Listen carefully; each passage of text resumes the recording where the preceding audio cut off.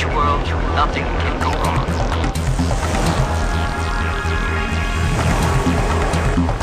In future world, nothing can go